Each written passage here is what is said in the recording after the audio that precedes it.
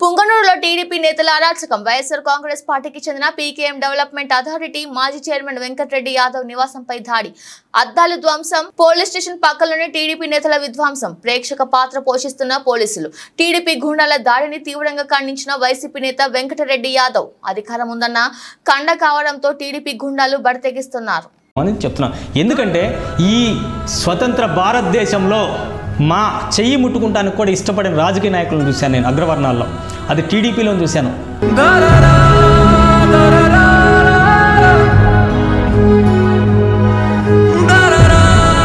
అలాంటిది మా చెయ్యి తగిలితే కూడా వాళ్ళకేదో మైలు అంటిందని చెప్పి ఫీల్ అయిన నాయకులను కూడా చూశాను. మా చెయ్యి పట్టుకుంటానికి కూడా ఇష్టపడిన నాయకులను చూశాను నేను.